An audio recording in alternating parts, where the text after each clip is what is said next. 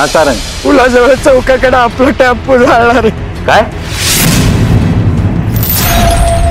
हे सयाजीरावाचं प्रकरण जरा जास्तच व्हायला लागलंय. त्या सयाजीरावाला याचा जाब विचारलाच पाहिजे. ते काय नाना मी येतो जाऊन सर अरे अरे माझं ऐका तुम्ही? सुमित्रा अगं ऋषिकेश जे काय करतोय ना ते योग्यच करतोय.